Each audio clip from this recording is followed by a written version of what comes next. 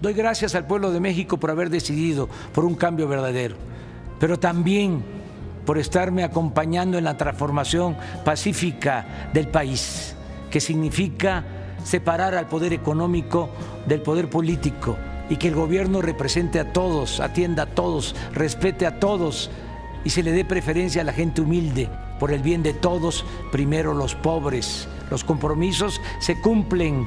Primer informe, Gobierno de México.